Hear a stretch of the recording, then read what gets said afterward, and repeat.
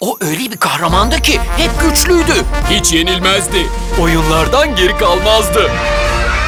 Hadi çıksın o kahraman da ortam kahraman görsün.